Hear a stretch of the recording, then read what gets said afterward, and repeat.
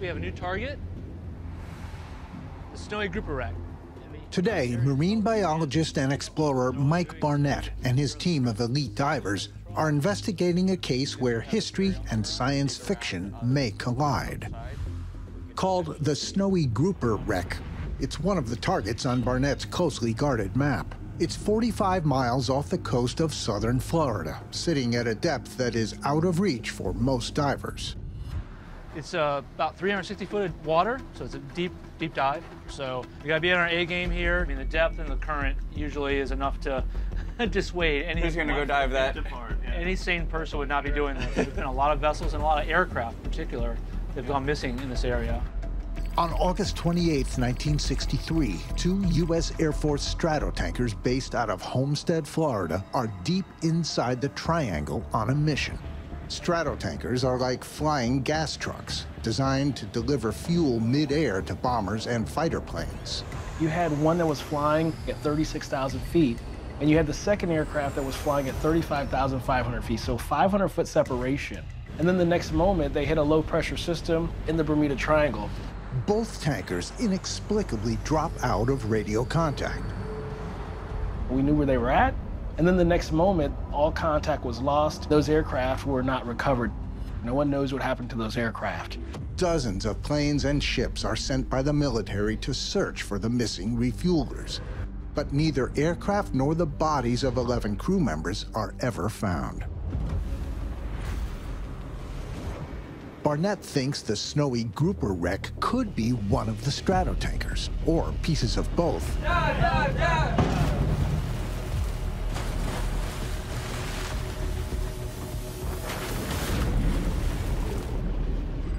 As soon as they reach the ocean floor, their clock begins. But as we got towards the bottom, we realized visibility was starting to close in on us. It was getting murkier and murkier. The viz is that bad right now. We could just barely see each other. It's dark, it's murky. I can't see anything. I can't see my hand in front of my face. Then, they find what they're looking for. We saw what looked to be the edge of the left wing, and we saw two masses that were the engines. So indicates this is a large aircraft, four engines, but what kind of aircraft it is, we don't know yet. The plane's size and multiple engines are similar to the missing stratotankers. But the murky darkness makes a positive ID difficult. We saw a very large aircraft, four engines, the wings were intact. We also noticed day-glow orange color, which is a fairly common pattern used by the U.S. Air Force for visibility for refueling aircraft. That led me to believe this is potentially a military aircraft. Time's up. Two hours later, they reach the surface. Back on shore, Jason Harris, military historian David O'Keefe, and historical investigator Wayne Abbott join Barnett to break down the footage to see if there are clues connecting it to the two missing stratotankers. What is it right there that we see? So we're seeing some debris here. We're on the periphery of this aircraft. Again, we see the large fuselage. Civilian, military, do we know? Yeah, I would lend to believe this would most likely be military. This is 40, 50 miles offshore. There's a lot of military training going on out here. So how long do you think it's been down here? That'll help us narrow down the era that we're working on. This is a large aircraft. I'm thinking it might be post-World War II. It gives a vibe off maybe the 50s into the 60s. The wreck is looking more and more like Barnett's suspect, one of the two military refueling aircraft, or maybe parts of both. And we saw this one hatch over the wing that was open. If an aircraft goes down, it's likely that that hatch would have not been open prior to going down. When the Stratotankers disappeared in 1963, not only were the two planes never found, no bodies were found either. So if the crew bailed out, what happened to them? These doors won't spontaneously open on their own. I mean, this has to be opened by someone. So that kind of is a tantalizing clue. With little else to go on, poor visibility and limited bottom time, the team agrees that a follow-up dive is crucial. Jason Harris has tracked down an existing stratotanker. He wants to study the plane's features to help Barnett and Jimmy ID the wreck on their next dive. This model predated the Stratotanker and was dubbed the Stratofreighter. You're looking at a genuine vintage KC-97, all original. This is built as a propeller-driven aircraft, and you can visually see how it would be much slower and fly much lower. You look at this, it's very bulbous, straight-winged, rounded, vertical fin, bulbous nose on it. The bulbous nose with a face that only a mother could love. Meanwhile, following up on the clues he saw at the Castle Air Museum, Jason has found something. Been doing a little bit of digging, and I came across a very interesting article about a KC 97 accident that crashed or it ditched in the ocean. What do you think? Position sounds about right. This is definitely a lead we need to run down.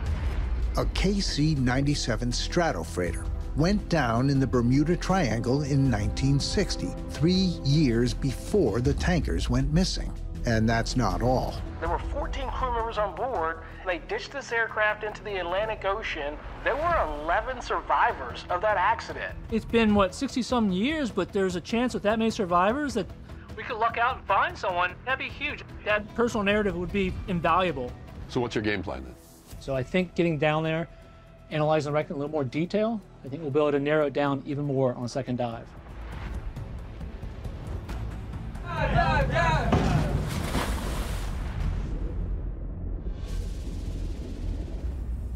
With only five minutes remaining, clues finally start to surface that could help the team identify the wreck. And as we got to the cockpit, which was totally intact, we noticed one window was kicked out, as if the crew was trying to escape a sinking wreck. Then seeing the nose of the aircraft, seeing that day-glow orange, seeing all the windows, it's almost like a figure eight bubble hull on the fuselage. That was unique. It looks like a face only a mother could love. But it's what the divers find next that offers the biggest leads yet. It looked like it had some kind of engines on the wings that had props connected to them at one point in time. But time's up. The divers start their ascent. Barnett and the dive team believe they've finally documented the proof to identify the mystery tanker. Looking at all the details, you see that it's a military aircraft. It's a four-engine propeller-driven aircraft.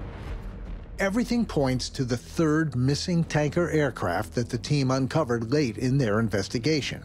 We were able to correlate that this was the Stratofreighter from the accident in March of 1960. We have all the features on the wreck that line up with the accident report. This is a KC-97 Stratofreighter. This is amazing. Well done, boys. And then an unexpected addition to the story. One of the Stratofreighter's surviving crew heard about the dive. I was quite shocked and stunned that an actual survivor reached out to me and saying, that's my aircraft. Jason and Mike jump at the chance to fill in the missing parts of the story. Mike Barnett. Hi, nice to meet you. Barnett and Jason are meeting with Marshall Taft. His 85-year-old father was on the Stratofreighter that ditched off the coast of Florida in 1960. It was a pretty scary night. Uh, there was plane was bouncing around, there was lightning, and you could see the, the wings. Joe Taft is one of 11 who survived. Sadly, three airmen did not. After reaching out, the elder Taft has declined to appear on camera, instead letting his son tell the story.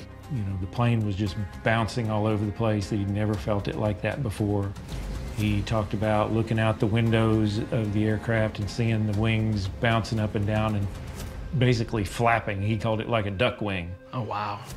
We went out through a hatch over the wing and jumped off the forward edge of the wing.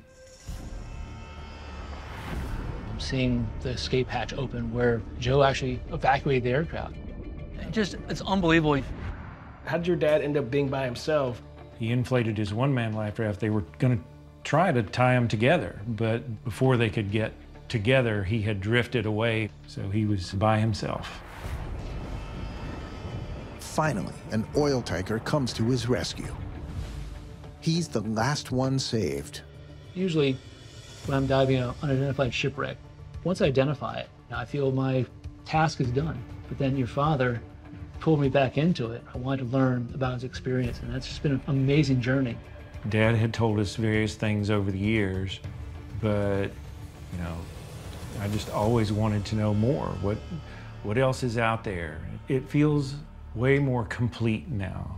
I appreciate you just taking this time to share this with us, man. Thank you for being willing to just have this conversation because it means a lot.